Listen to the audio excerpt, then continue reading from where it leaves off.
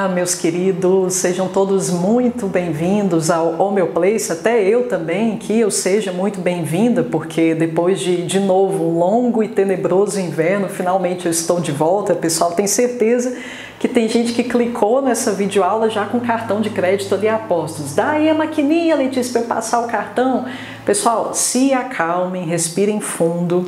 Eu sei que muita gente já sabe exatamente do que se trata essa videoaula em questão. Eu sei que muita gente estava aguardando ansiosamente por esse momento, mas eu preciso que vocês mesmo assim contenham e serenizem os seus espíritos, serenizem os seus ânimos porque é fundamental, pessoal, que vocês tenham uma ideia, tenham uma noção exatamente do que vocês estão prestes a adquirir, muito ansiosos para adquirir para verificar se realmente corresponde ao que vocês estão buscando, se as expectativas que inicialmente vocês estabeleceram, elas serão correspondidas a partir aqui dessa videoaula, vocês poderão obter essa constatação, porque de certa forma a proposta dessa videoaula, pessoal, é trazer a vocês uma prévia daquilo que está por vir. Letícia, e o que está por vir? Estou boiando aqui, não sei nem do que se trata. Pessoal, já anunciei semana passada no meu grupo exclusivo de estudos, já anunciei de antemão para os meus alunos que eu lançaria hoje, lançaria nessa semana especificamente o tão aguardado badaladíssimo curso SAIS de Schussler e a microengenharia orgânica. Então, como o próprio nome já diz, pessoal, vou tratar aqui superficialmente do que será abordado neste curso. Então, o intuito fundamental, o intuito central dessa videoaula é anunciar a vocês, trazer uma exposição resumida, sintética do que vocês vão encontrar neste curso. Como eu disse, a fim de verificar se realmente corresponde ao que vocês estão buscando. Mas além disso, pessoal, o intuito aqui é tirar um bocado de poeira aqui no canal, é na verdade aquecer os motores aqui no canal para 2022. A gente precisa retomar as atividades aqui no canal e, na verdade, eu cogito, pessoal, nesse ano de 2022 me fazer mais presente, quem sabe deixar disponível para vocês pelo menos duas matérias médicas por semana. Então, o intuito aqui é dobrar a aposta para que a gente possa aprofundar cada vez mais o nosso conhecimento em homeopatia e, claro, que com isso vamos ajudar muitas pessoas que a gente sabe que estão por aí sofrendo desnecessariamente. Então, o intuito dessa videoaula também é aquecer os nossos motores para a retomada aqui das atividades no canal. Mas enfim, agora vocês já sabem, pessoal, que eu vou tratar aqui, vou anunciar para vocês a proposta central deste curso que finalmente está pronto aí para aquisição, para o seu deleite, Sais de Schussler e a microengenharia orgânica, como o próprio nome já sugere, já nos leva a deduzir. Vou tratar sobre os 12 conhecidos, clássicos, tradicionais sais de Schussler mas olha a surpresa, pessoal. Além dos 12, eu acredito que o interesse da maioria seja em relação a isso que eu vou falar agora. Além dos 12, ainda vou abordar outros nada menos que 21 sais, conhecidos como sais traços. Vou começar até falando um pouquinho sobre eles, pessoal. Muita gente me perguntou, Letícia, o que, que é isso? Nunca ouvi falar desses outros sais. Por que dessa nomenclatura traços? Bom, pessoal, se a gente se debruça sobre a, a etimologia da palavra traço, a gente entende que se o termo empregado é esse, significa que o corpo precisa deles também, desses outros 21 relativamente desconhecidos, principalmente aqui no Brasil significa que a gente precisa deles, só que numa quantidade traça, ou seja, uma quantidade muito pequena. O que não pode faltar de jeito nenhum são os 12, pessoal. É por isso que eu já vou trazer aqui uma palhinha acerca dos 12 para que vocês conheçam o poder terapêutico de cada um deles, porque que eles são tão importantes para o perfeito funcionamento do nosso organismo, pelo menos e principalmente a nível bioquímico. Mas antes dessa exposição, pessoal, um ponto de partida para que a, a nossa análise se torne mais didática possível, mais palatável, acessível possível, bom ponto de partida é falar acerca do que são esses sais. Muita gente faz confusão com a homeopatia. Ah, Letícia, mas é a mesma coisa? São manipulados de forma similar? São manipulados, na verdade, exatamente lançando mão da mesma técnica, dos mesmos procedimentos, então eles não são a mesma coisa. Na verdade, pessoal, conforme, inclusive eu vou discorrer de forma bem detida ali nas primeiras videoaulas do curso, os sais eles estão no limbo. Porque se você envia, por exemplo, um sal de Schussler, uma calcária fosfórica 6DH para um laboratório para análise, pessoal vai detectar alguma coisinha ali, uma quantidade ínfima, porém detectável, de fosfato de cálcio, que é a calcária fosfórica. Então, veja que nós estamos nesse limbo, nessa interface entre o âmbito material e o âmbito imaterial. Porque, pessoal, nós vamos perceber também que, inclusive, a possibilidade da patogenesia, ela é real aqui no caso dos sais, confirmando, corroborando essa constatação de que estamos falando de semi-homeopatias. Outros fenômenos também a gente pode perceber aqui, como exonerações, retorno de sintomas antigos, a Raro, pessoal, mas há pessoas que sentem algumas respostas psíquicas em se tratando do manejo e emprego dos sais. Então, tudo isso nos leva a concluir que sais estão uma espécie de limbo. Na verdade, a partir dessa explicação que eu darei início agora, pessoal, vocês vão chegar à conclusão de que os sais, na verdade, eles se casam com a homeopatia ou deveriam se casar de uma forma indissociável. Por quê, pessoal? Que tomem aqui, vamos lançar mão de uma metáfora, que aí vocês vão entender exatamente porque um trabalho não substitui o outro. Porque que só homeopatia pode ser que ela não renda os frutos esperados, pelo menos não conforme Hahnemann preconiza para a gente, não no sentido de promover uma cura profunda, suave e duradoura. Vamos comparar, pessoal? Na verdade, um bom ponto de partida, o melhor de todos definitivamente, é meditar sobre a doença a gênese da doença. Vamos falar de uma doença que está te acometendo clinicamente, ou seja, você tem um problema físico. Estou olhando para o microfone toda hora, pessoal, porque às vezes eu chego à conclusão que eu estou falando sozinha, não gravou nada. Então, de vez em quando, eu vou dar uma verificada aqui para ver se eu não falando com a parede. Mas, enfim, voltando, meus queridos. Como é que a gente adoece e o que é a doença realmente? Então, vamos supor que você esteja com uma mazela clínica, uma mazela física, que recebe, claro, inclusive até um diagnóstico. Você está com uma colite, você tem uma inflamação ali no seu colo intestinal, você tem uma colite. E aquilo dói, você sente aquela dor de barriga e assim por diante. E nós sabemos, nós sabemos, conforme até Hahnemann já enfatizou várias vezes no próprio Organon, em vários parágrafos, a doença, a origem da doença é imaterial.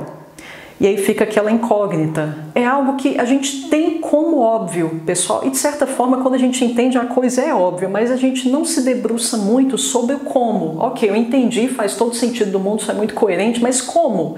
Como uma perturbação imaterial gera um efeito material, que é a colite. O que Rama quer dizer com isso, pessoal, é que tudo começa no plano psíquico. Tudo começa no plano imaterial. Tudo começa a partir de uma determinada perturbação psíquica. Uma crença limitante, por exemplo, eu sou inferior, eu sou uma pessoa sem valor.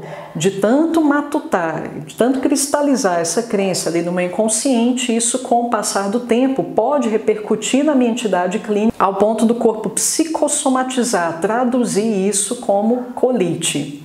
Então, o que Hahnemann, quando Hahnemann faz essa declaração, pessoal, basicamente o que ele quer dizer é o seguinte: tudo começa na alta hierarquia, na nossa subjetividade, e com o passar do tempo pode ser que isso seja somatizado e, consequentemente, essa mazela se instalará no nosso organismo.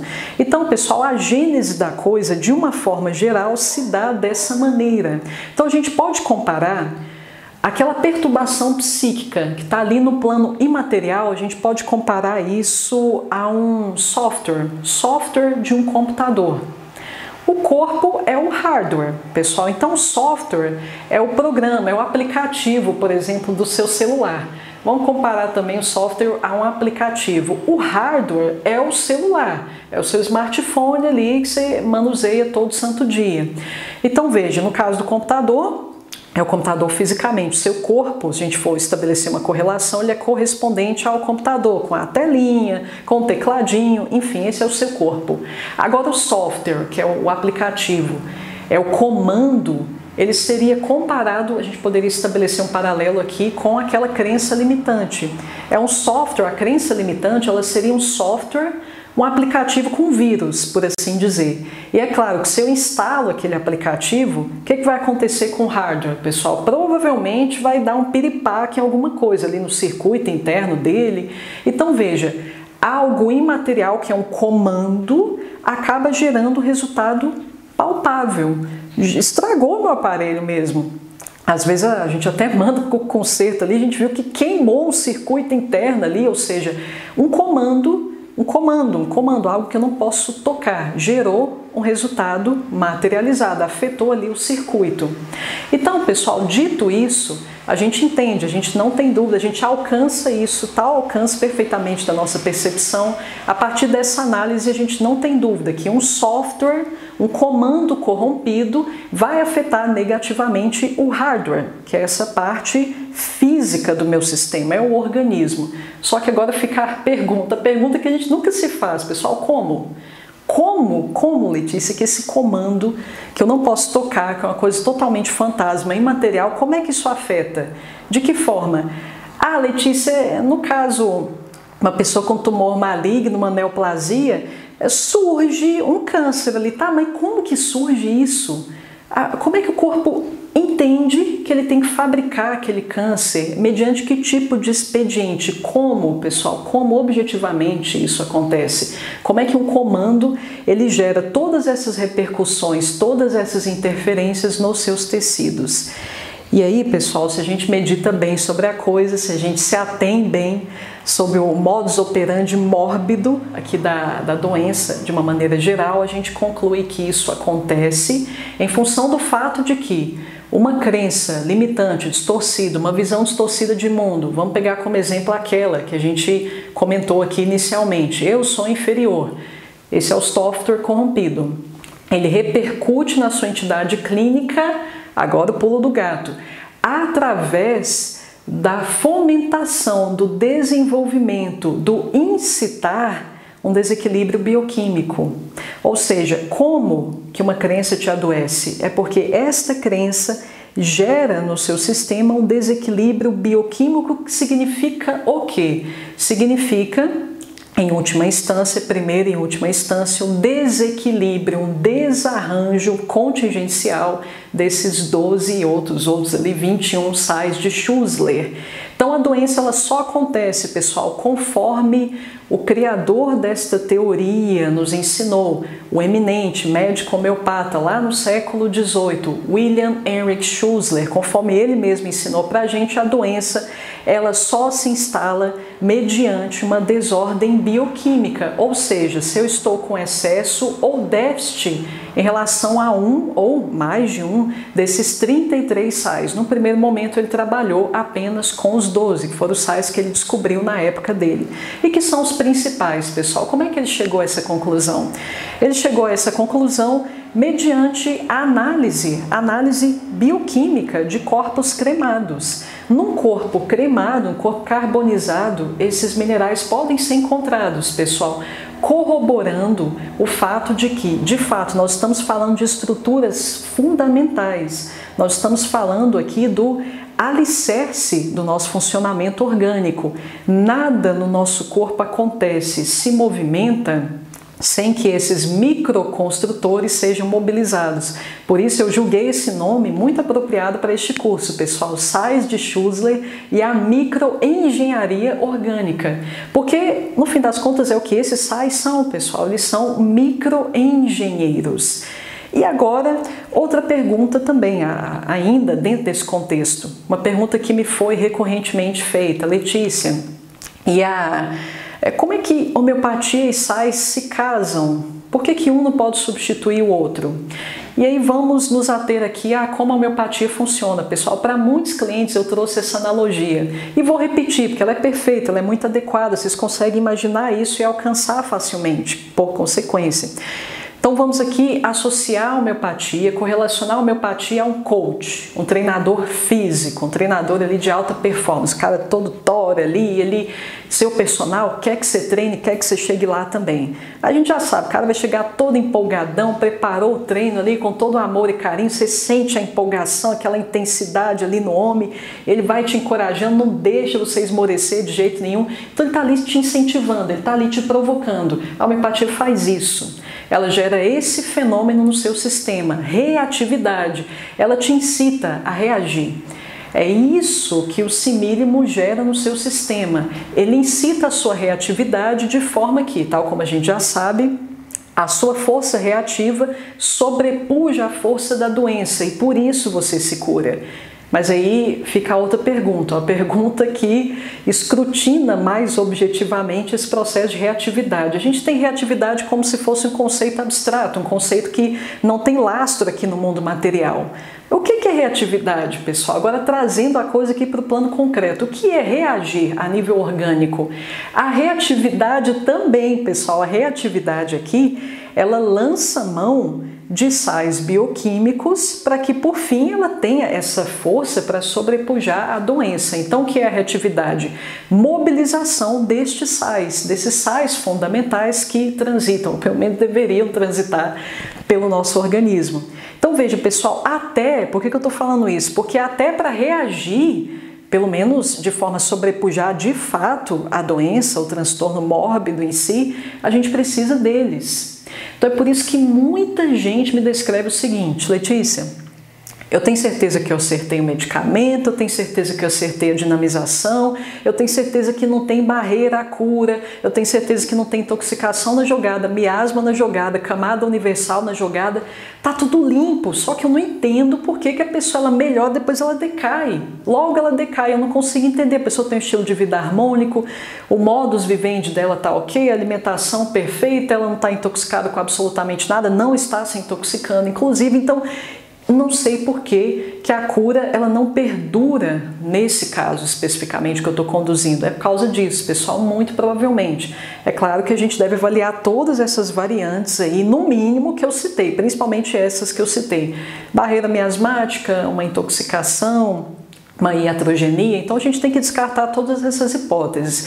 Descartadas todas essas hipóteses, a gente pode começar a cogitar um desequilíbrio bioquímico. O que significa isso, pessoal? Na prática, significa que aquele coach, aquele seu personal, todo animadão, toda Eliana, ele vai lá, te incentiva a treinar, te incentiva a malhar, bora, bora, bora, aí você vai lá, você está motivado, porque você se contagia com aquela, aquela empolgação toda, você se entusiasma também momentaneamente.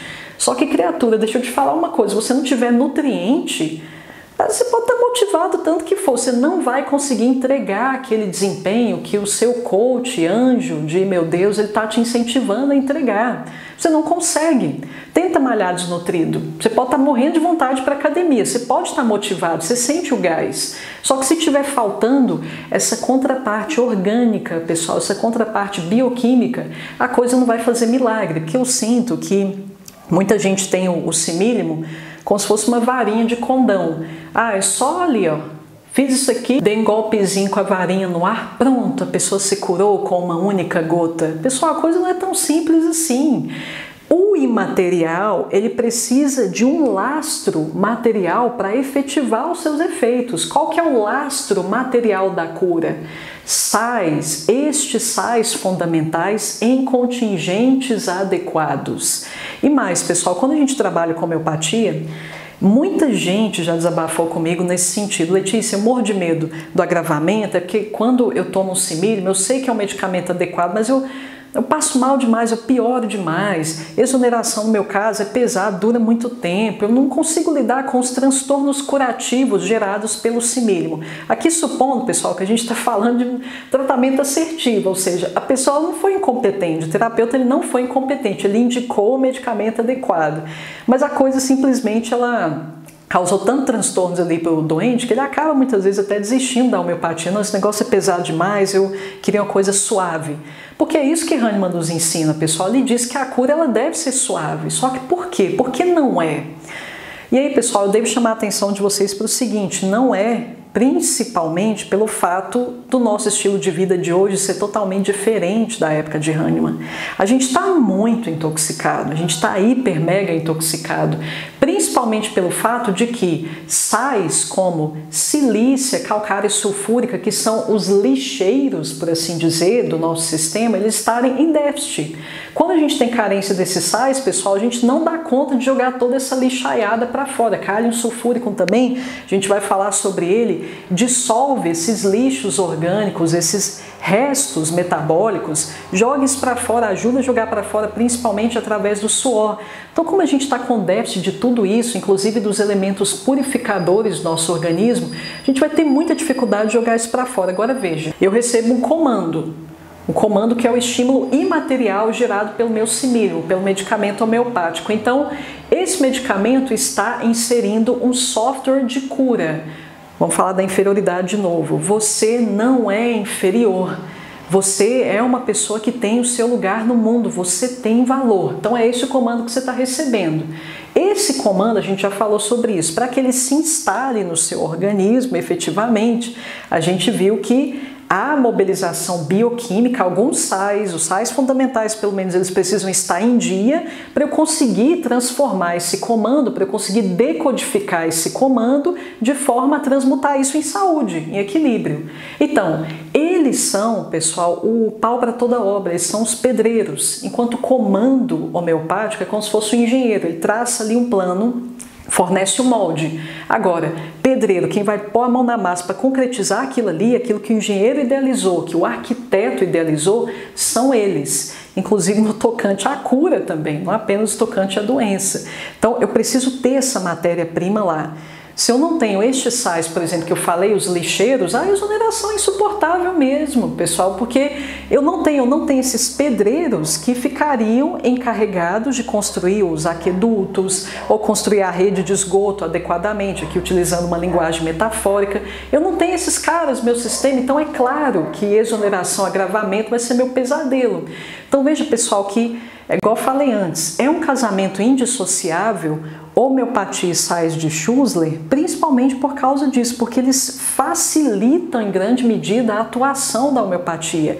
Eles possibilitam que aquele comando de cura se assente adequadamente da forma, aí sim, da forma mais suave, com o mínimo de transtorno possível. Então é sobre isso que a gente vai falar, pessoal. A gente vai falar sobre como a homeopatia ela age no nosso sistema curativamente, falando do que a homeopatia precisa para que ela de fato te cure. A gente já viu a importância dos sais nesse sentido. E mais, de que outras formas a gente estava falando sobre doença? O que é a doença? Como a doença se processa? Como eu adoeço fisicamente? Então, através, primeiramente, aqui da decodificação desse software corrompido. Você é inferior, você não tem valor.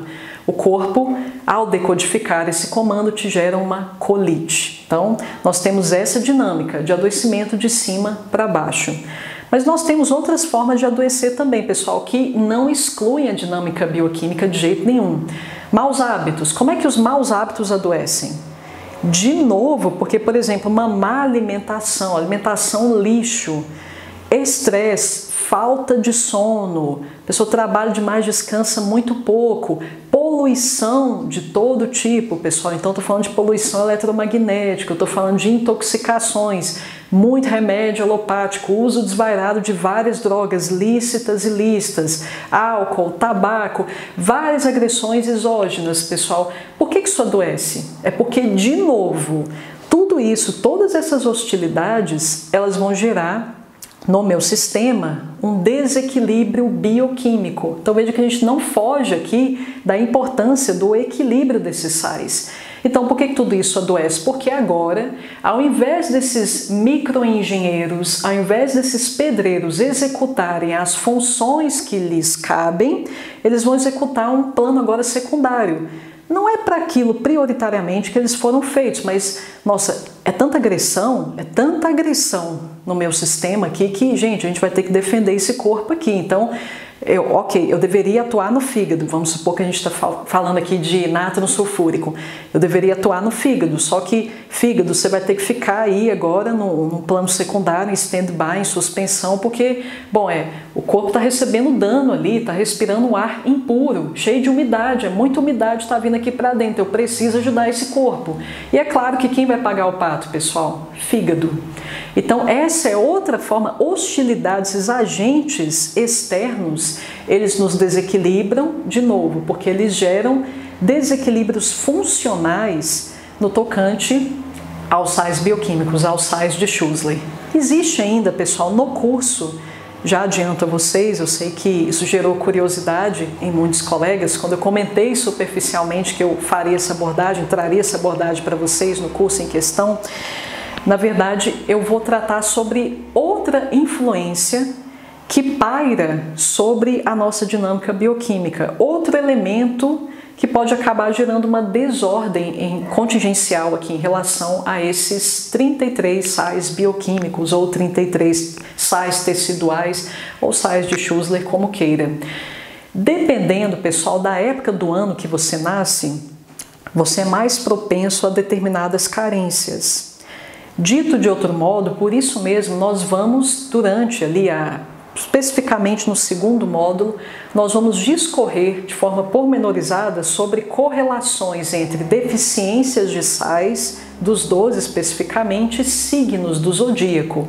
Letícia, isso não é compatível com as minhas crenças, eu não acredito nesse negócio.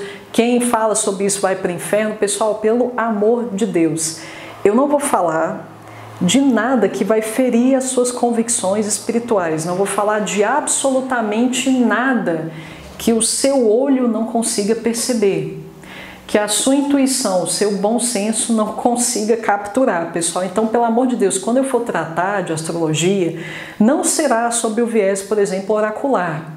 Vou ficar ensinando ninguém a prever futuro, que pelo amor de Deus, o que isso tem a ver com o tema do curso? Simplesmente, pessoal, quando eu utiliza esse termo signo, o que eu quero dizer é que nós vamos abordar carências, deficiências que são notórias em pessoas que nascem em determinada época do ano. É só isso. E é interessante, pessoal, que essas pessoas têm preconceito quando simplesmente elas ouvem esse termo astrologia, elas não param para pensar que Gente, é, é, sabido. Você conversa com qualquer pessoa que lida com a Terra, até a gente mesmo, a gente pode submeter isso aqui à prova, a nossa constatação empírica. Se a gente planta determinada semente ali em certa época, pode ser que ela nem brote, pode ser que nem germine. Por quê? Porque tem uma época específica que reúne condições específicas ideais de luminosidade, calor, umidade. Existe uma certa época do ano que ela é mais propícia, por a gente perceber ali influências mais benéficas, mais adequadas ao florescimento daquela planta. O mesmo, pessoal, se a gente é ser vivo, por que, que a gente se exclui da jogada? Se você nasce em determinada época, você está sim suscetível a determinadas influências. E isso, pessoal, é uma influência de certa forma que ela passa a compor a nossa natureza a nível endêmico, a nível basal. Você não muda o dia que você nasceu, só é imutável. Ou seja, é um elemento que vale a pena conhecer, porque são tendências, tendências a carências que provavelmente vão te acompanhar para o resto da vida. Então, a partir do conhecimento dessa influência, você entende que sim, Existe também um reflexo macrocósmico no meu microcosmos. E de novo, como é que essa repercussão macrocósmica, ou seja, como é que essas influências extrínsecas, elas repercutem no meu sistema sob a forma de doença ou saúde? De novo, porque gera-se um desequilíbrio ou um equilíbrio bioquímico. Então, dependendo do trecho ali, pessoal, a época do ano especificamente que você nasceu, Dependendo do trecho do zodíaco onde você se situa, é sobre isso que eu vou falar no módulo 2 do curso, você se torna mais suscetível sim à carência de determinados sais. Por quê? Porque naquela época do ano existe uma interferência, a época que você nasceu, existe uma interferência muito pesada, uma interferência característica que é difícil para o nosso sistema equilibrar. Então, a gente vai ter que sempre prestar atenção naquilo ali, de que forma aquilo está te afetando. É só você observar como é que as coisas funcionam na natureza dependendo da época que você colocou aquela sementinha ali no solo, vai determinar significativamente o aspecto da planta, o quanto ela vai florescer, até o sabor dos frutos. Pessoal, outra pessoa plantar a mesma semente em outra época, ela vai observar que o simples fato dela ter plantado aquilo em outra época já gerou um resultado completamente diferente, no mínimo em termos de aspecto externo daquela planta.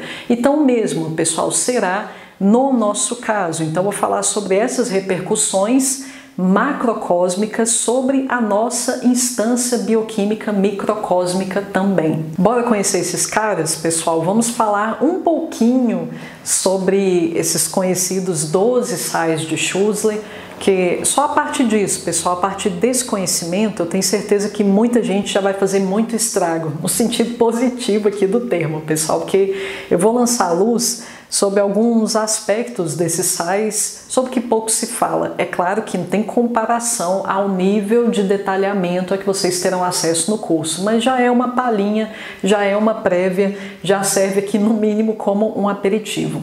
Então vamos falar, pessoal, sobre o sal número 1. Um. A cada sal, sim, é atribuído uma categorização numérica. Lá fora, Europa, Estados Unidos, quando vocês vão comprar os sais, normalmente vocês podem não encontrar o sal com a sua nomenclatura em latim, tal como a gente está acostumado. Vocês podem encontrar, por exemplo, calcária flórica como salt number one, sal número um. Ah, o que, que é isso, Letícia? O que, que é número um? É importante que a gente conheça, pessoal, essa classificação numérica e no curso eu vou discriminar bem para vocês o que é a categorização numérica para cada um dos sais quando nós estamos prescrevendo para países europeus e que importam medicamentos da Europa e quando nós estamos prescrevendo para pessoas que a gente acompanha, por exemplo, nos Estados Unidos, que há variações nisso aqui.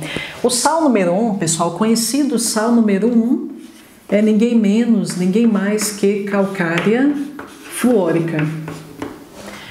Calcária fluórica, pessoal, desempenha o papel de promoção de elasticidade dos nossos tecidos e também permite um assentamento adequado do cálcio. Ou seja, quando isso aqui falta, pessoal, eu posso ter calcificações, acúmulo de cálcio onde não deveria ter, acúmulo de cálcio em órgãos, acúmulo de cálcio em algumas partes da coluna onde não deveria haver cálcio o esporão, bico de papagaio. Então pense em calcificações de todo tipo, hiperlacidão, fibras musculares muito frouxas, articulações também enfraquecidas. Então, quando isso aqui está em déficit, nós temos uma perda da elasticidade dos tecidos. O que pode causar isso aqui, pessoal? Variações muito bruscas de temperatura. A pessoa todo santo dia, por exemplo, é a rotina dela. Ela está no ambiente com ar-condicionado ali gelado, sai naquele calorão todo santo dia. Ela trabalha na cozinha, por exemplo, de um restaurante, aí tem que abrir aquele freezer gigantesco, aquele freezer que a gente até consegue entrar, percorrê-lo para pegar alguma coisa. Então, isso, pessoal, prejudica bastante aqui o nosso estoque de calcária sulfúrica. Por quê? Porque a gente sabe que quando há uma, a gente está exposto a uma temperatura mais baixa, o que, que vai acontecer? Há uma retração ali dos vasos, inclusive da pele também, uma retração da superfície corporal como um todo, nem que seja de forma bem sutil. Quando está muito quente, é o contrário, os vasos tendem a dilatar. Agora imagine isso aqui, pessoal, com frequência de forma abrupta, esse movimento sanfona aqui, contrai, expande, contrai, expande, contrai, expande. Não tem calcário flórica que aguente isso aqui. Então, quando a gente é exposto, às vezes o dia a dia acaba nos expondo a esse tipo de circunstância. Quando a gente é exposto a essa, essa mudança muito abrupta de temperatura, é bem provável que a gente precise disso aqui. Isso aqui, repetidamente, contrai, expande, contrai, expande. Uma das consequências, pessoal, disso são rachaduras na pele. É por isso que é um dos grandes sais para rachaduras na pele também. Por quê? Porque a pele não deu tempo, quando isso aqui começa a faltar, não dá tempo para a pele acomodar aquela expansão, aquela expansão, aquele esticamento, por assim dizer, do tecido cutâneo. Outro sal, pessoal, sal número 2 importantíssimo também para a saúde óssea. Espero que vocês estejam enxergando bem, por isso que eu vou falar o nome também, pessoal, ao mesmo tempo. Calcária fosfórica. Calcária fosfórica, pessoal, grande tropismo pelo seu arcabouço ósseo. Quando isso aqui falta, eu tenho problema nos ossos. Então, quebrei, sofri uma fratura, excelente sal para acelerar a recuperação. Eu tenho osteoporose, excelente sal para osteoporose.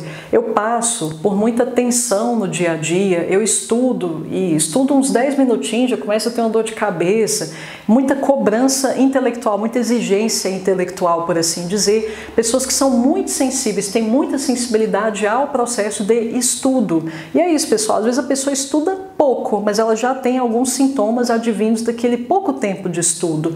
Então, é um sinal claro de que esse sal está em déficit, pessoal. Normalmente, pessoas que precisam desse sal, elas de fato elas se sentem mais enfraquecidas, até porque normalmente nas constituições onde há um desgaste maior desse sal, há uma mente 220. São pessoas que pensam muito, imaginam muito, elas usam de fato muito a mente. A mente é muito agitada, isso acaba esgotando também os estoques deste sal. Outro sal importantíssimo, pessoal. Eu sei que tem muita gente me assistindo que acompanha pessoas hospitalizadas, acompanha idosos que ficam ali acamados. E aí o que, que acontece? Muitas vezes a gente pode observar aquelas chamadas escaras. São aquelas feridas abertas, às vezes você consegue colocar até uma mão ali, que negócio não cicatriza de jeito nenhum. Excelente para regeneração tecidual e purificação de matéria orgânica também, pessoal, porque na verdade, calcária sulfúrica é indicado no, principalmente no terceiro estágio inflamatório, quando a cicatrização não está acontecendo, cicatrização tardia e às vezes até ausente, não está acontecendo o processo ali de reparação tecidual no ritmo que deveria. A gente tem aquela descarga de pus, aquele pus escurecido através de determinada erupção. Então, quando isso acontece, pessoal, é sinal de que o nosso lixeirinho e o nosso severino conserta tudo, que a calcária sulfúrica está faltando. Então, esse é um dos grandes sais, pessoal, além de desempenhar um papel fundamental na regeneração dos tecidos, é um dos grandes sais também para purificação de matéria orgânica, aqueles resquícios de um processo inflamatório pus e companhia limitada, tudo que está embutido ali naquela coleção profusa, purulenta. Isso aqui recolhe. Esse é o nosso querido e amado lixeirinho. O que pode causar, pessoal, um déficit disso aqui é principalmente a acidose. Como é que a gente acidifica o corpo? Mediante péssimos hábitos alimentares, principalmente. Sal número 4, pessoal. Vocês querem uma coisa para aumentar a imunidade? Então é esse nosso queridinho aqui, ó Indico para muitas crianças, principalmente aquela garotada que começa a ir para a escola e volta catarrenta todo santo dia, sal maravilhoso, ferro fosfórico. Ferro fosfórico é o nosso antitérmico, então tem processo febril ali em andamento, já podemos trabalhar com fosfato de ferro. Antitérmico, anti-inflamatório também, pessoal, mas isso aqui Veja, a gente vai falar de outro sal, combate febres mais altas, acima ali de 38,7. A seara dele, pessoal, sendo bem franca, ela é mais, digamos, tangível, no máximo 38,7. Passou disso, a gente já deve lançar mão de outro fosfórico, que é o cálium fosfórico, mas a gente vai chegar nele. Então, esse aqui, pessoal, é o nosso querido anti-inflamatório antitérmico aumenta significativamente a nossa imunidade. Ah, Letícia, mas como é que uma coisa tão importante igual esse sal falta? Bom, pessoal, pode faltar mediante aqueles vários fenômenos. Eu posso ter uma crença, um software corrompido que repercute dessa forma, causando um déficit disso aqui, ou eu posso ter nascido numa época específica que não me ajuda a manter o estoque disso aqui em dia, ou eu posso manter certos hábitos é aquele processo, adoecer de baixo para cima, ou seja, são os meus hábitos que me adoecem. Café demais, chá preto, chocolate, pessoal. O chocolate, na verdade, a gente deve ter um cuidado redobrado com ele, porque a digestão de chocolate, pessoal, não esgota só o estoque desse aqui. Esgota o estoque de outro sal importantíssimo, que é o número 8, que propicia analgesia. Ou seja, qual que é a dedução que a gente pode chegar? Quem come chocolate demais tem imunidade mais baixa e sente mais dores, principalmente no período pré-menstrual. Outro sal, pessoal, pelo amor de Deus, esse aqui eu vou falar com todo gosto porque eu tenho certeza que nesse exato momento tem muita gente precisando disso aqui, que é o cálio muriático. é outro sal purificador, pessoal, do nosso organismo, outro lixeirinho. Mucosas, um grande tropismo pela mucosa. Se as suas mucosas elas estão sempre com algum problema, você pode contar com esse sal. Embolias de todo tipo, pessoal, conte com esse sal. Mas a esfera de atuação dele é principalmente sobre mucosas. E claro, pessoal, se atua sobre mucosas, ele otimiza a produção de muco. E é importante que a gente medite sobre a função do muco, pessoal. Uma das funções, a gente for analisar o porquê de tanto muco se concentrar aqui nas nossas vias aéreas, a gente entende que um dos papéis que o muco desempenha gira em torno de encapsular a sujeira, encapsular aquele agente que, bom, aquela substância que seja que o meu corpo não está enxergando com bons olhos, por assim dizer. Então, quando eu encapsulo, há uma probabilidade mais alta de eu conseguir jogar aquilo para fora. Pronto, eu coloquei dentro do envelopinho, dentro do saquinho de lixo, agora é só jogar para fora.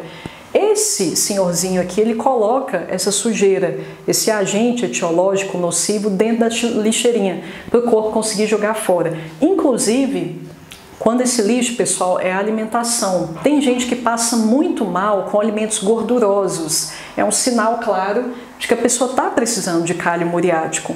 Cálcio muriático, quando ele está em falta, pessoal, a gente se torna propenso a uma série de intolerâncias alimentares. Eu não consigo gerar muco o bastante para encapsular toda aquela porcaria, aquele excesso de gordura advindo da alimentação.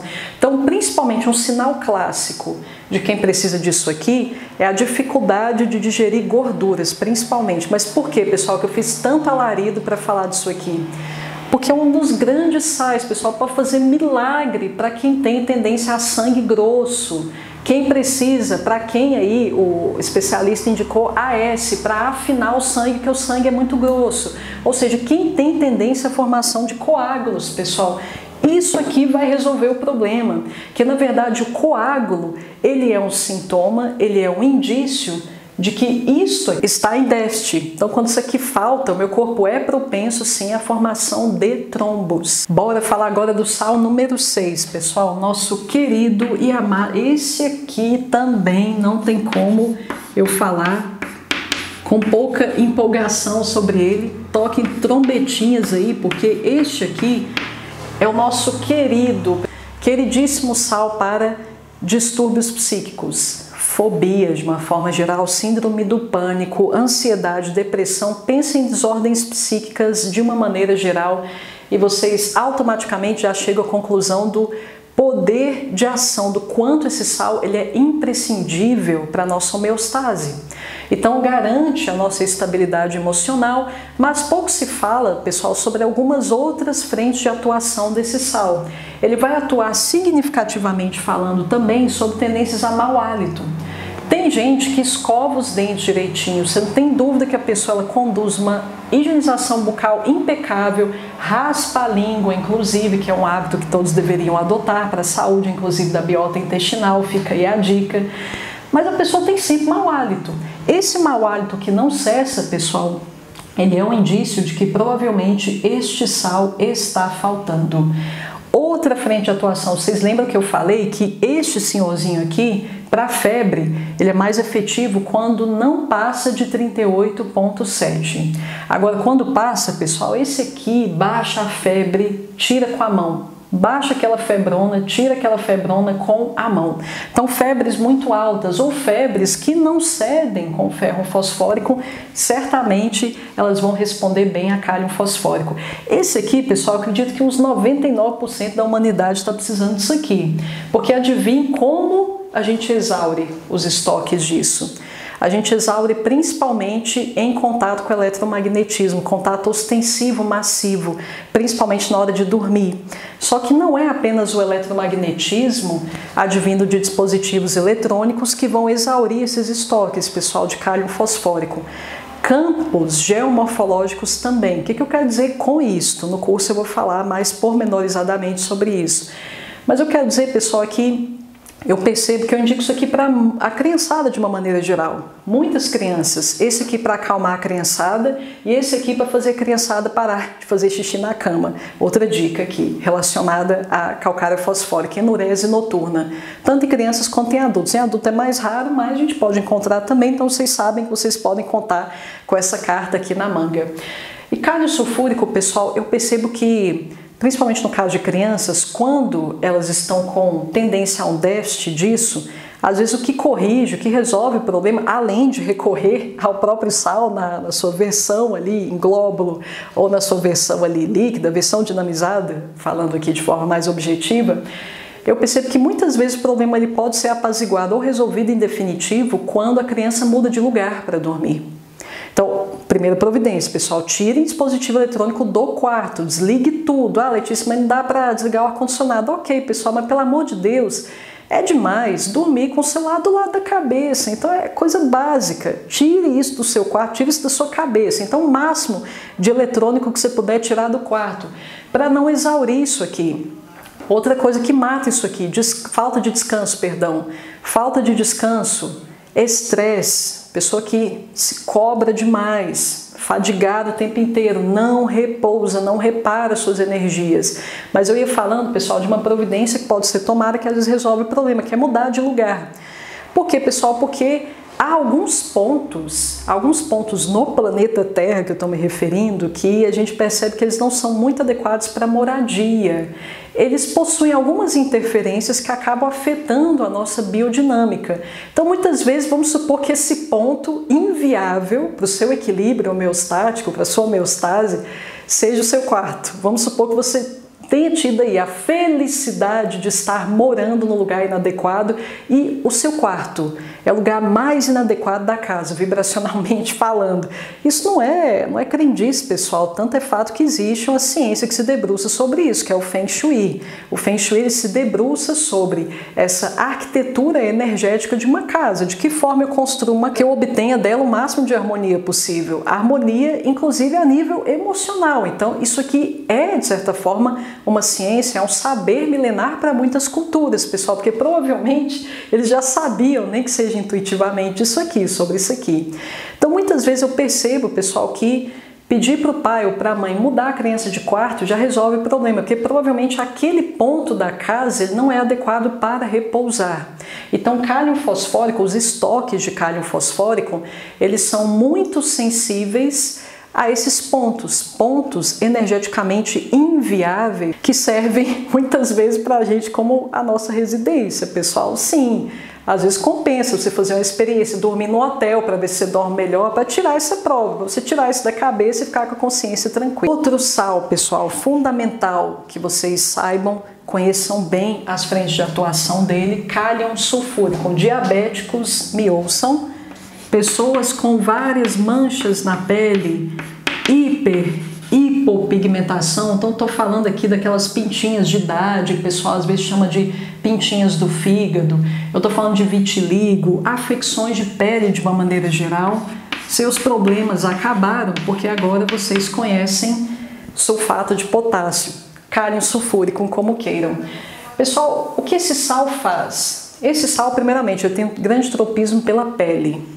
Esse sal também, pessoal, ele de certa forma ele auxilia o trabalho de ferro fosfórico no que diz respeito à oxigenação do organismo.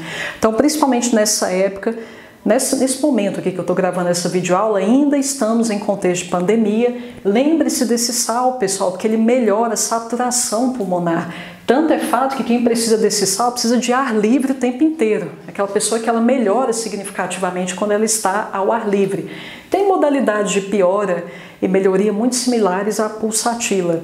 Existem homeopatas que comparam, até acreditam que um, o trabalho com pulsatila seja indissociável do trabalho com cálcio sulfúrico. Mas algo, pessoal, além aqui que vale a pena a gente meditar, veja que hoje em dia a gente indica demais. A gente não, né? Que nós homeopatas não podemos nem devemos fazer esse tipo de indicação, mas muitos alopatas indicam, por exemplo, puran para tratar hipotiroidismo. Medicamentos, pessoal, que atuam sobre a tireoide, eles vão exaurindo os estoques de oxigênio. Quem é o carreador de oxigênio, um dos grandes carreadores, este mineral aqui. Então, o que, que eu estou dizendo com isso, pessoal? O que, que é de se deduzir? Que se eu tomo esses remédios, se eu tomo já há muito tempo remédios para tratar minha tireoide, independentemente da mazela que esteja aqui instalada na minha tireoide, automaticamente é bem provável que eu precise desse sal aqui, porque ele vai ser exigido. Muito oxigênio, igual eu falei, é necessário para a metabolização desses remédios. E o que vai acontecer é que isso aqui vai sair do seu domicílio natural, que é o fígado e o pâncreas, é por isso que eu falei de diabetes. Porque se falta a performance, a atividade de cálcio sulfúrico no pâncreas, que é a sua casa, que é a sua residência, é onde esse sal deveria prioritariamente agir, automaticamente o pâncreas acaba pagando o pato, gerando diabetes, por exemplo. É uma afecção que a gente sabe que tem íntima relação com algum distúrbio pancreático, um distúrbio pancreático específico, dependendo do tipo de diabetes que a gente estiver falando. Dissolve toxinas também, pessoal, para que essa toxina seja eliminada, principalmente através do suor. O principal elemento que vai exaurir isso aqui, pessoal, como eu disse, são os remédios, remédios para tireoide. Cosméticos, de uma maneira geral, que coíbem o suor, pessoal, que impedem que a gente transpire naquela quantidade que a gente deveria transpirar. Esse aqui, meus queridos, por favor, tenham esse sal em casa. Esse aqui tenham. Esse aqui não pode faltar. Esse aqui também não pode faltar de jeito nenhum, cário fosfórico para de repente você tem um pico aí de ansiedade, uma contrariedade, precisa recuperar o seu eixo emocionalmente falando, excelente carta na manga, mas agora, pessoal, esse aqui, me prometam que vocês vão adquirir um frasquinho desse aqui, a magnésia fosfórica. Fala-se tanto em magnésio hoje, pessoal, vocês nunca se perguntaram por que disso? Está no verde, está nos verdes, magnésio compõe a clorofila, mas por que, que você fala tanto desse negócio, sendo que muita gente come tanta folha? Então, magnésio fosfórico, sal número 8. Quando ele falta, pessoal, a gente vai sentir dor de tudo quanto é tipo. A gente vai ter cãibra, a gente vai ter espasmo, a gente vai ter tremores, convulsões, epilepsia, a gente vai ter dores tensionais principalmente. E sabe o que mais coíbe aqui a estocagem desse sal? Consumo de café, álcool, fumo, chocolate. De novo chocolate, pessoal. E eu tirei uma prova disso, não tive dúvida disso aqui. Se vocês pegam chocolate de qualidade, chocolate que é chocolate mesmo, pessoal, tipo uns 85% para cima. Esse é chocolate, tem chocolate lá de verdade. Porque esse chocolate ao leite, pessoal, é tipo uma, uma, parafina pintada de marrom. Basicamente é isso. A gente nem pode falar que é chocolate, mas estou falando de chocolate de verdade. Esses dias eu tirei a prova disso, eu e meu marido. A gente comeu, comeu, dividimos ali uma barra de 85%, no dia seguinte todo mundo com dor de cabeça. Então veja, por que isso? Por que isso exatamente, pessoal? Não é o sal analgésico? A frente atuação principal desse sal não gira em torno da analgesia, não promove analgesia. Se a degradação do chocolate, a digestão exaure isso aqui, então automaticamente eu vou ter dores, principalmente dor de cabeça, pessoal. E o pior, Pior é que é um ciclo vicioso, que a falta dele gera mais vontade de comer chocolate ainda, é uma contradição. Aí a mulherada, por exemplo, lá na fase de TPM, o que, que elas fazem? Elas sentem aquele impulso para comer doce, elas vão comendo chocolate, muitas comem chocolate nessa época, aí começa a dor de cabeça e as colicaiadas, né? um monte de cólica ali menstrual. Isso aqui é excelente, pessoal, para cólicas menstruais, maravilhoso. O único porém aqui dele é que ele é administrado de uma forma diferente e deve ser administrado em água morna. Só ele, pessoal, que é a exceção. Os demais podem ser administrados ali em temperatura, água em temperatura ambiente, caso vocês optem pela versão em solução.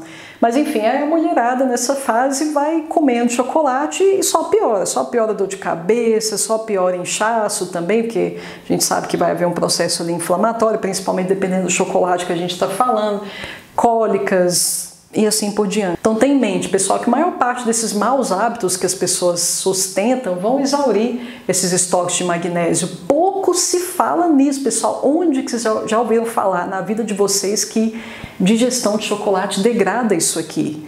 Fumo, arregaça com seus estoques disso aqui, fumar.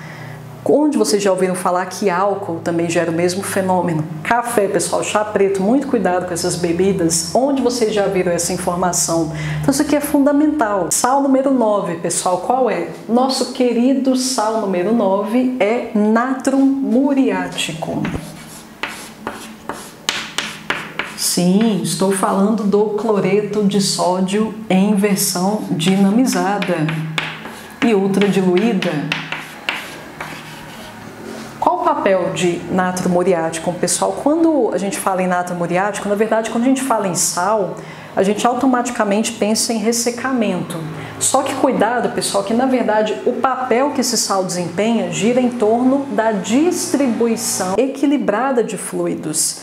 Então, quem está precisando de natro, às vezes sim, tem uma parte do corpo que é ressecada, mas tem outra parte que está hiperidratada, vamos colocar dessa forma. Então, a pessoa, por exemplo, tem uma hidrocefalia, uma prisão de ventre. Por quê? Porque tem muita água lá em cima, pouca água aqui embaixo. Então, as fezes elas são ressecadas, a pessoa tem dificuldade de expelir aquilo ali. E, pessoal, além disso, e inclusive por isso, Natro muriático ele vai combater então todas as tendências a ressecamento, mas é aquele ressecamento concomitante ao acúmulo de água em outra parte do organismo.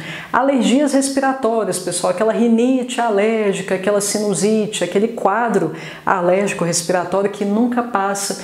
Temos aqui, pessoal, uma excelente alternativa também para alergia ao sol. Falando em pele, pessoal, falei de ressecamento de pele e não mencionei que aqui, quando magnésia fosfórica está em déficit, que a gente pode observar uma pele muito vermelha.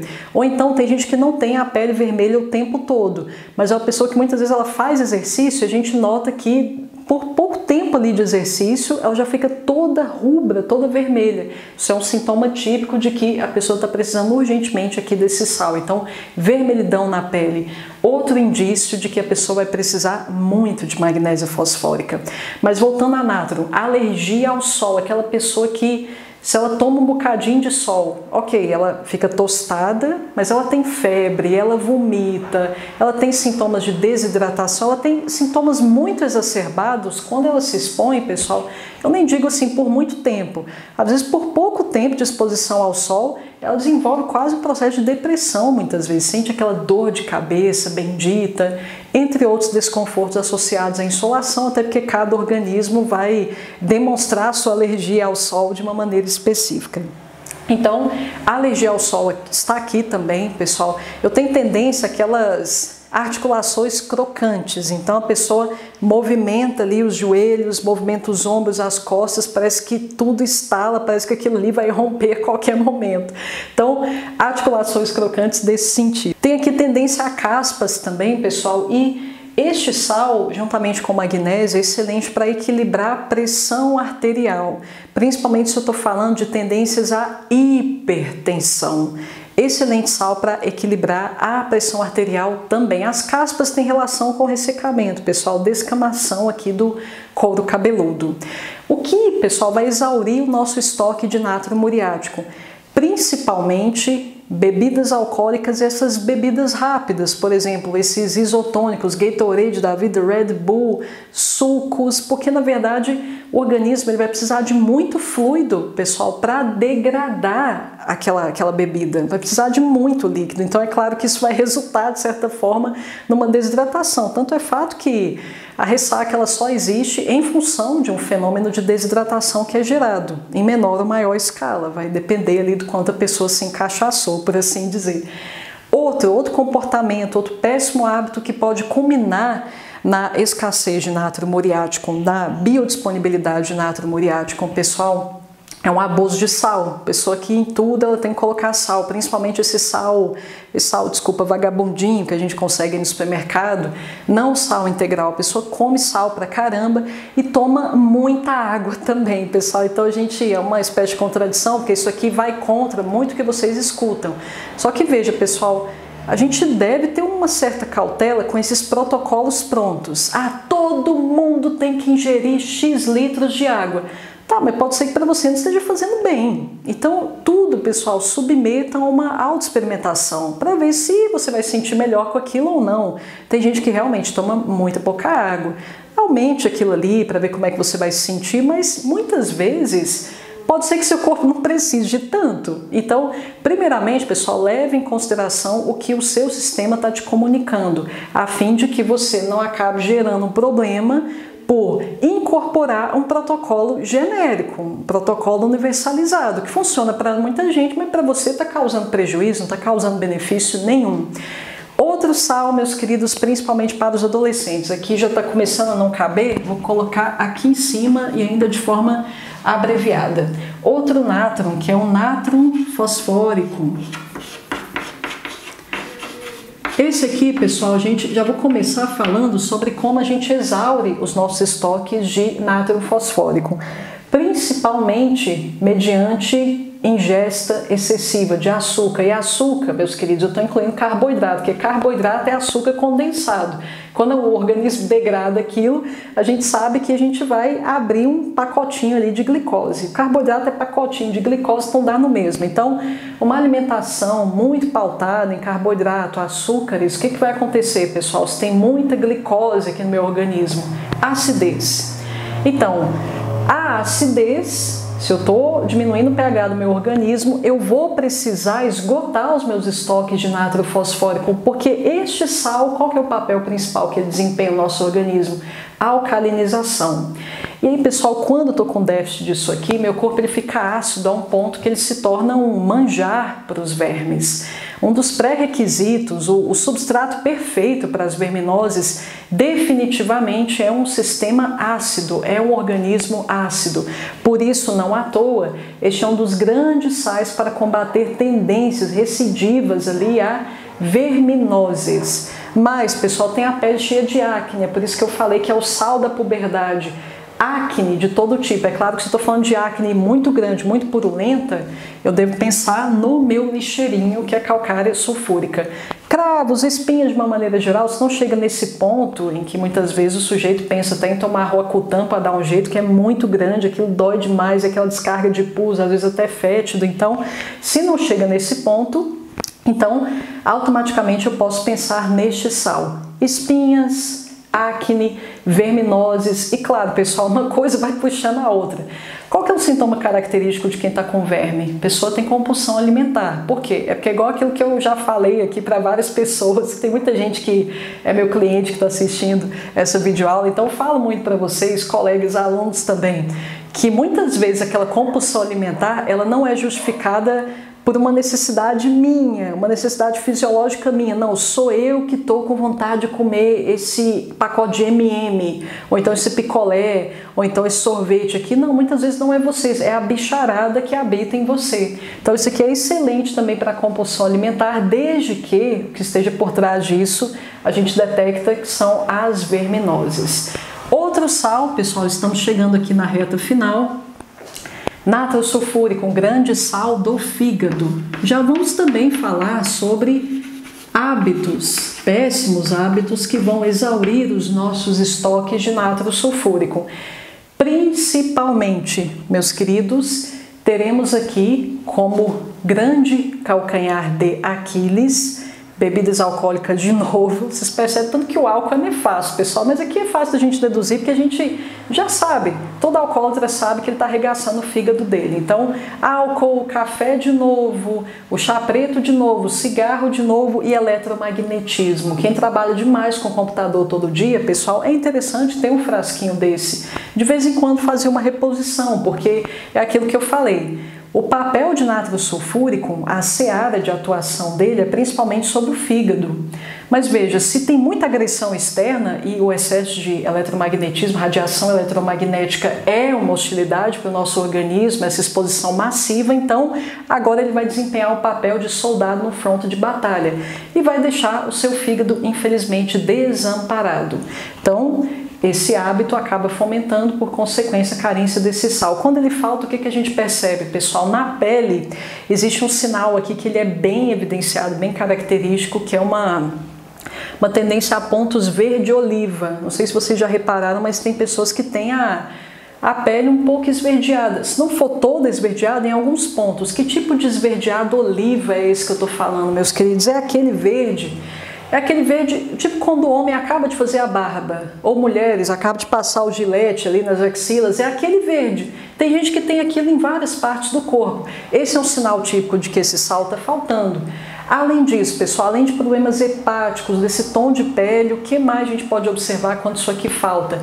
Hidropisias, tendência à retenção de líquido em certas partes do corpo, porque esse sim, quando ele falta, pessoal, na verdade o que a gente nota é uma tendência a acúmulo de água, só que é um acúmulo generalizado.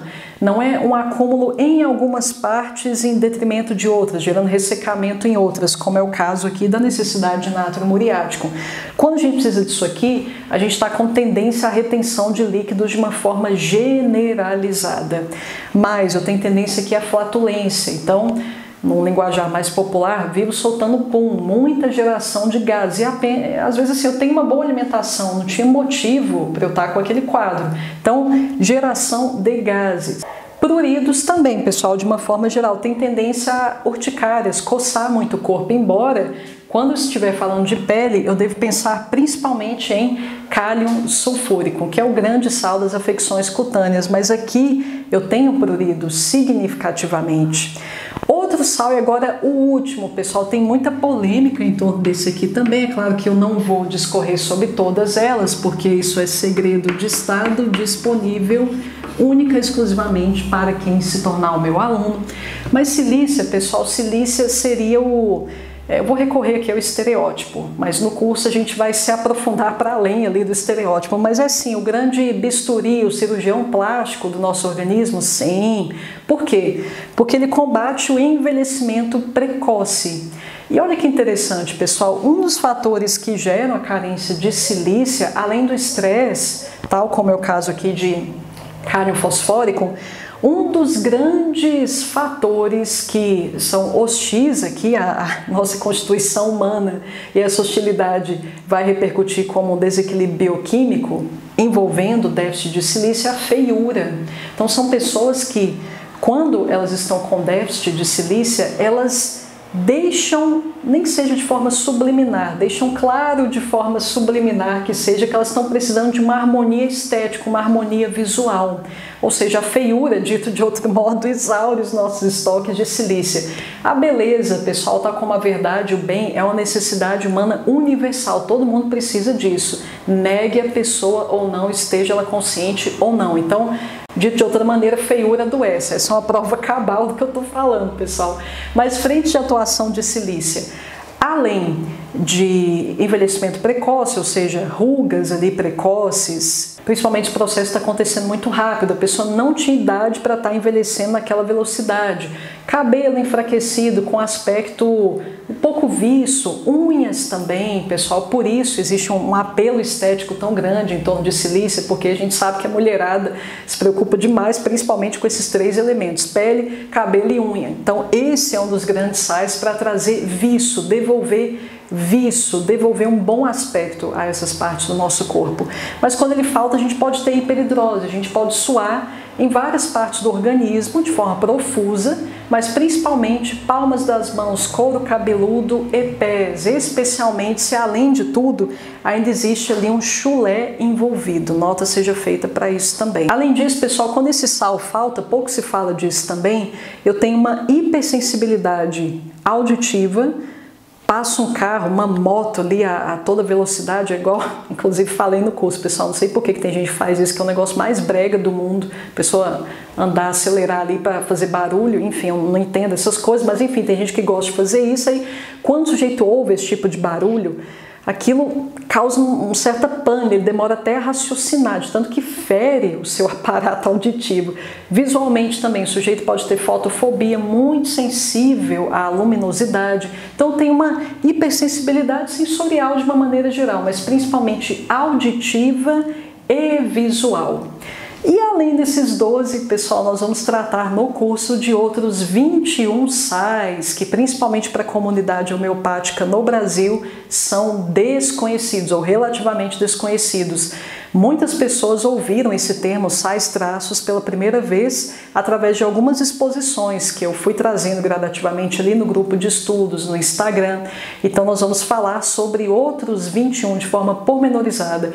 Outros 21 sais traços que, quando faltam, também geram uma série de distúrbios bioquímicos no nosso organismo. Pessoal, o curso vai tratar de forma pormenorizada, além do, dos 21 sais, traços e dos 12 aqui, nós fizemos uma apresentação bem genérica, pessoal, porque no curso eu vou esmiuçar de forma detida cada um desses 12. Então, além dessa explanação mais detalhada acerca dos 33, ao todo são 33 sais bioquímicos, nós vamos falar sobre algumas polêmicas que os envolvem. Por exemplo, igual eu falei anteriormente, vamos falar sobre exonerações, sais podem provocar exonerações, sais podem provocar, incitar o retorno de sintomas antigos, sais podem despertar patogenesias. Vamos falar sobre o alcance psíquico dos sais. Estes sais bioquímicos, Letícia, apesar de atuarem principalmente na nossa entidade clínica, de forma mais significativa sobre o nosso corpo e menos sobre o nosso psiquismo, será que é tão irrisória, insignificante assim a atuação deles sobre o nosso psiquismo? Então vamos discorrer também sobre isso. No curso ainda, pessoal, para que o aluno se torne apto a indicar de forma segura os sais, nós vamos nos debruçar muito sobre sinais faciais que o doente muitas vezes nos demonstra quando ele está de fato com déficit de algum desses 12 sais. Então, eu vou ensinar vocês, de, de outra maneira, a olhar para o doente, bater o olho nele e já saber do que ele precisa. Porque as carências, pessoal, é como se o Deus tivesse viabilizado essa linguagem corporal para facilitar o trabalho do terapeuta, nós vamos perceber que essas carências elas ficam de fato estampadas, geram determinados sinais, alguns traços na fisionomia, na face do sujeito que evocam, suplicam o suprimento daquele sal. Então a carência ela fica estampada no rosto pessoal e isso torna, quando a gente sabe ler esse alfabeto facial, por assim dizer, envolvendo carência de sais, Obviamente, o emprego, a indicação será muito mais seguro, porque a gente não vai ficar tateando no escuro, não vai ficar trabalhando com achismo, não vai indicar indiscriminadamente os sais sem estarmos nos pautando numa evidência clara de que o doente está precisando mesmo daquilo ali. Então, bom, está ali no rosto, estampado a língua, aprenderemos a observar também algumas evidências na língua de que o sujeito precisa de determinada reposição. Então, a partir do momento que a gente lança mão de tantas ferramentas, a partir do momento que a gente domina tantos expedientes, tal como eu vou ensinar vocês, no... obviamente que nós teremos aqui uma indicação segura. E vocês vão perceber que isso é necessário, pessoal. Os SAIs, a indicação deles, conforme eu vou discorrer ali no curso com vocês ostensivamente, apesar da gente não precisar de tantos detalhes sobre o quadro clínico do doente, tal como a gente precisa no, quando a gente planeja indicar um simílimo homeopático ali para o doente, a gente sabe que o tratamento homeopático ele é altamente individualizado, ou deveria ser pelo menos. Então, eu não posso trabalhar, não posso indicar uma homeopatia X só porque a pessoa me disse que ela está com dor na perna. Não, preciso saber sobre o psiquismo do doente, modalidades dessa dor, natureza dessa dor, como é que ela é, pulsante, rasgante, latejante, ardente. Preciso saber de todos esses detalhes para uma indicação assertiva e segura de um medicamento homeopático. Isso não é tão necessário no caso dos sais, pessoal, mas não significa que eu não devo levar minimamente em conta alguns aspectos individuais do doente. Então, é sobre esses aspectos individuais que eu trato ali no curso, de forma que a indicação de sais de prescritores a alunos meus se torne o mais segura e assertiva possível. Feitas essas ressalvas, pessoal, no mais a gente pode dizer que trabalhar com sais, associar os sais bioquímicos, a maioria das abordagens terapêuticas é algo que não apenas é possível, como é extremamente viável, desejável. Veja que muitas curas não vão se assentar caso não haja o suprimento desses microtrabalhadores aqui da minha arquitetura clínica, da minha arquitetura orgânica. Eu preciso deles para gerar o fenômeno curativo que a gente visa.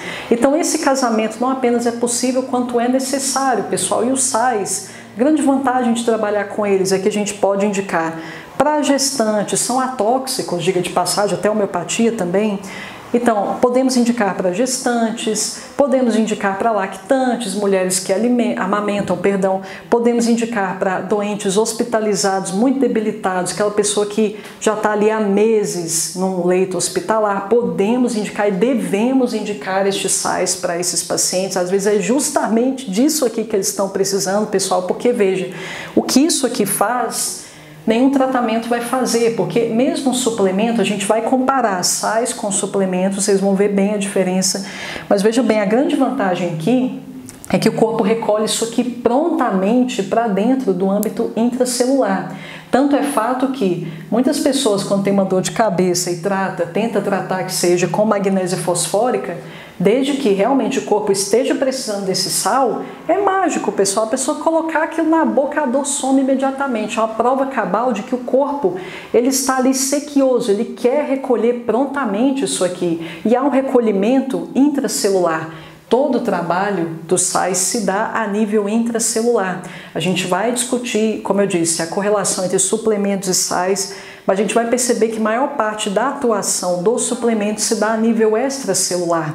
Só adiantando aqui uma grande diferença em termos de frente de atuação, para que você chegue à conclusão de que, de fato, uma coisa nunca vai substituir a outra. Oferta especial para vocês, meus queridos colegas que aguardaram esses meses todos para que eu finalmente anunciasse esse projeto, pessoal. Quem adquire, o que o aluno que adquire Nessa época especificamente, que época que eu estou me referindo, a partir de hoje até o dia 18, quem adquire nessa época, primeiramente, vai poder adquirir o curso com esse valor, um valor promocional de lançamento, 799 reais, que pode ser dividido em até cinco vezes no cartão. Verifiquem, pessoal, várias formas de pagamento, inclusive à vista, via boleto, então verifiquem qual é a modalidade mais adequada, mais viável para cada um de vocês. Mas já digo de antemão que vocês podem dividir tranquilamente em até, até cinco vezes. E mais, meus queridos, vocês serão muito bem-vindos ao meu querido e amado, a minha joia rara, chamado O Meu Learning, que é o nosso grupo exclusivo de estudos, pessoal. A minha querida colega Heloise, ela gravou um depoimento. Depoimento vocês podem acessar clicando nesse link aqui abaixo, é o mesmo link de aquisição do curso. Bem ali no final da página, dessa página que está aqui embaixo, ela diz algo que, que eu assino embaixo, porque eu acredito que a maior parte dos colegas fazem parte já do grupo, eles vão concordar com essa declaração nós conseguimos, pessoal, construir um grupo de estudos de verdade. É um grupo de estudo, G maiúsculo, estudo ali com E maiúsculo, um grupo de estudos de verdade, um grupo de estudo de calibre grosso. A gente não fala bobagem ali e parafraseando a minha colega, nós conseguimos construir uma comunidade familiar a gente se ajuda mutuamente, discutimos casos da forma mais criteriosa possível, da forma mais responsável possível e principalmente, pessoal, tenho certeza que quem participa concorda comigo. Nós aprendemos homeopatia através de um viés prático. A gente discute casos clínicos reais ali, casos clínicos que os colegas trazem, a gente traz ali algumas possibilidades. Então, é uma forma de crescermos dentro do saber homeopático Quem adquire o curso até no máximo, pessoal, dia 18 terá acesso a essa nossa linda e acolhedora comunidade, nosso grupo exclusivo de estudos ou meu learning. Mas, meus queridos, vocês têm acesso online. O curso é único e exclusivamente online, pessoal. As aulas já estão gravadas. Então, a partir do momento que você adquire o curso, você pode adquirir desde que você tenha uma boa conexão de internet. Você pode assistir a qualquer tempo, a qualquer lugar, por dois anos. Ah, Letícia, mas é muito pouco tempo, pessoal. Pelo amor de Deus, se em dois anos você não assiste o curso, você não vai assistir nunca, pessoal, sendo bem franco. Então, dessa vez eu vou colocar um tempo, porque eu não quero que seja um conhecimento mofado. Quero que vocês usem isso para alguma coisa.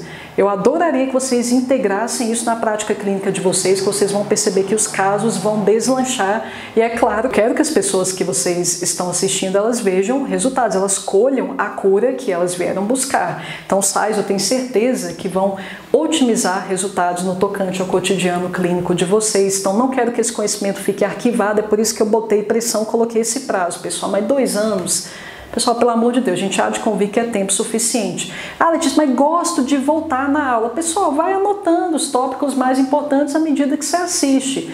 Você assistir parcimoniosamente, você vai, criatura de Deus, conseguir tirar o sumo, as ideias mais importantes ali das videoaulas, eu tenho certeza disso. E mais, tem um grupo. Qualquer tempo você pode tirar suas dúvidas ali. Mas, pessoal, falando aqui em resumo, em guia de estudos, a apostila uma obra de arte ali de primeira, de primeiro mundo. A apostila resumida de uma forma didática, pessoal. Se você assiste às aulas, depois dá uma olhadinha na apostila, você vai perceber que o conhecimento fixa de uma forma quase definitiva na mente de vocês. E outro presentão, para quem, única e exclusivamente para quem adquiriu o curso até dia 18 do 2, 18 desse mês, pelo amor de Deus terão acesso, esses alunos terão acesso a um índice sintomatológico contendo centenas de sintomas, pessoal, com os respectivos sais para tratá-los. Então veja quanto isso vai facilitar a vida de vocês, o cotidiano clínico de vocês, pessoal. A pessoa tem ali um quadro, já está batalhando para sanar aquele negócio ali há mil anos com homeopatia ou lançando mão de outras ferramentas terapêuticas também sem resultado. Então você tem ali algumas sugestões das quais você pode lançar mão para às vezes resolver em definitivo aquilo, desde que o que esteja por trás daqueles sintomas seja um, déficit bioquímico, tal como a gente já discorreu aqui esse tempo todo.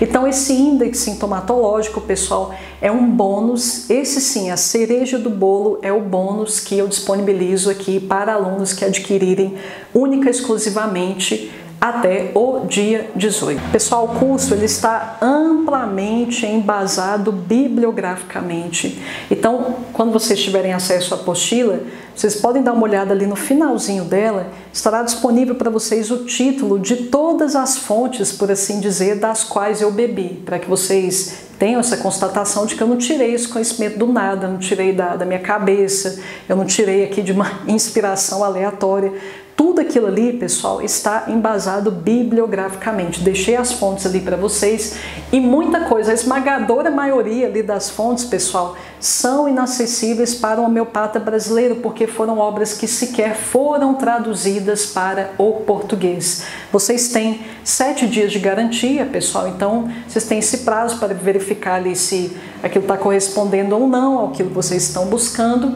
Então, Dentro desse prazo, vocês podem solicitar o reembolso caso vocês verifiquem que não, Letícia, não é bem isso que eu estava querendo, não correspondeu exatamente às minhas expectativas iniciais, então vocês podem solicitar dentro desse prazo. Então, há sete dias de garantia. Tá, Letícia, blá blá blá demais, desembucha. Cadê a maquininha do cartão que eu pedi desde o início? A maquininha do cartão tá aqui, pessoal, na descrição desse vídeo. Então clique na descrição.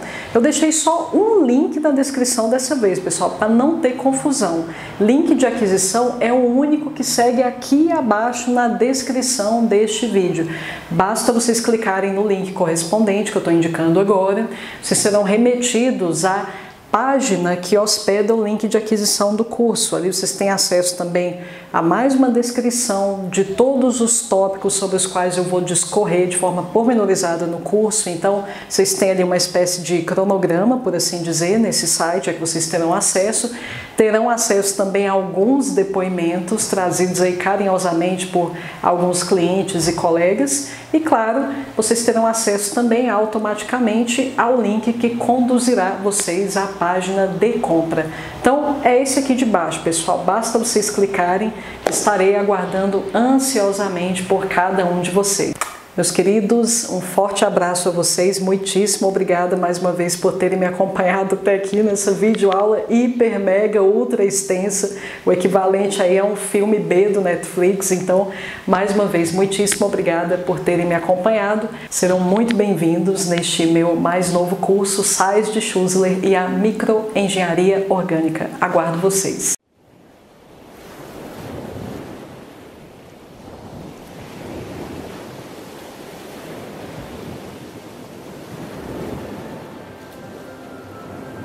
Em meu corpo palpita uma admirável fornalha alquímica, capaz de transmutar o alimento em mais de mim mesmo.